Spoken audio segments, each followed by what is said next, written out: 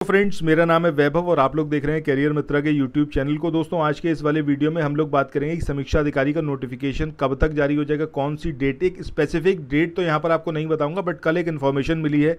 उसके बिहाफ पर ही इस वाले वीडियो को मैंने बनाया और यहाँ पर यह भी बताऊँगा कि आप किस तरीके से पढ़ो, कि आपका सिलेक्शन सुनिश्चित हो पाए।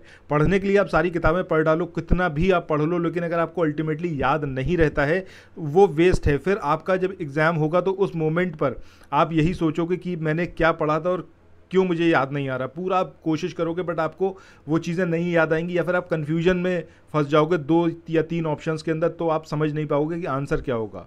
सो so, यहाँ पर यह भी मैं आपको बताऊँगा कि पढ़ना कैसे है। दूसरी बात जो नोटिफिकेशन के बारे में है नोटिफिकेशन आपको बहुत जल्द देखने को मिलेगा। पूरी पॉसिबिलिटी ये है जैसी इन्फॉर्मेशन मुझे मिली है कि अगस्त के लास्ट वीक तक आपको नोटिफिकेशन देखने को मिल जाएगा।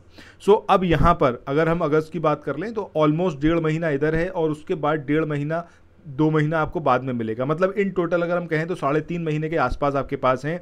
सारे सब्जेक्ट आपको पढ़ने हैं, आपको करंट अफेयर्स भी पढ़ना है।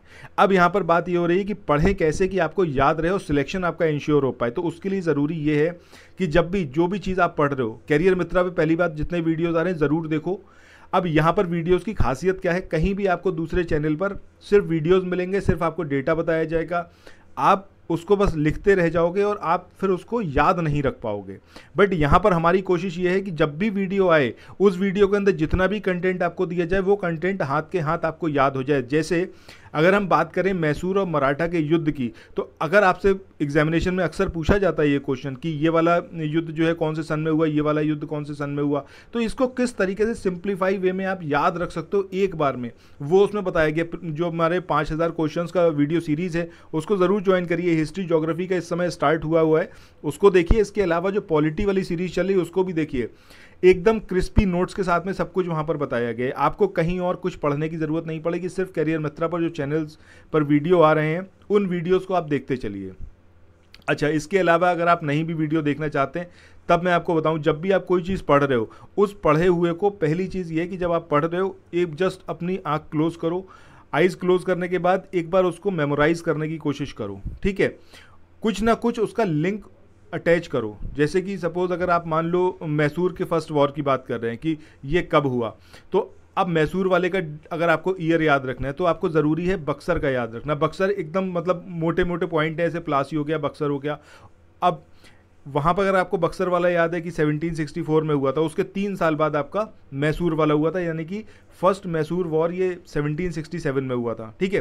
तो इस तरीके से आप चीज़ों को लिंकअप कर सकते हो और यही करियर मित्रा पर जो वीडियोज़ आ रहे हैं, उनमें आप देख सकते हो। सो ये एक सही तरीका होगा ताकि जो भी आप पढ़ो, अगर आप मान लो पूरे सिलेबस का 50 परसेंट भी पढ़ते हो, लेकिन 50 परसेंट वो कंक्रीट है, वो आपको याद है तो आप यकीन मानो एग्जामिनेशन में सफल होने से आपको कोई रोक नहीं सकता।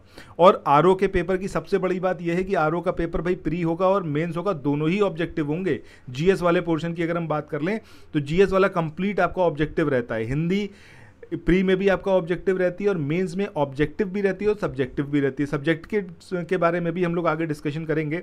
सो आप लोग अगर चैनल पर नहीं, अभी तक सब्सक्राइब करे हो चैनल को तो चैनल को सब्सक्राइब ज़रूर कर लो और जो वीडियोज़ यहाँ पर आ रहे हैं, उन वीडियोज़ को ज़रूर देखो। Thank you so much